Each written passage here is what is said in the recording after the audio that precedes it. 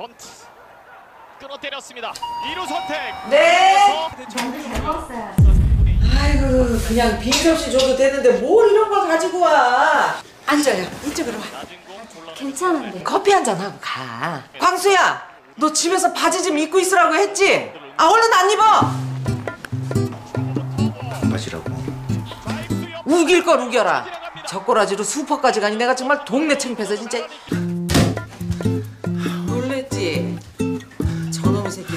날 집에서 반스만 입고 있어 괜찮아요. 집에선 다 그렇죠. 에휴 썩어 저러니까 아직도 장가를 못 갔지? 누나! 누나 여기 살아요? 나 얼마 전에 이사 왔어. 진구 씨도 여기 살아? 네 403동이 나도 403동 사는데 몇 도 사는데? 902호요 그럼 동구랑은 어떻게 되는 거야? 오! 이거 우리 막내인데? 누나 어디 살아? 나 어? 저거 우리 삼촌인데? 삼촌!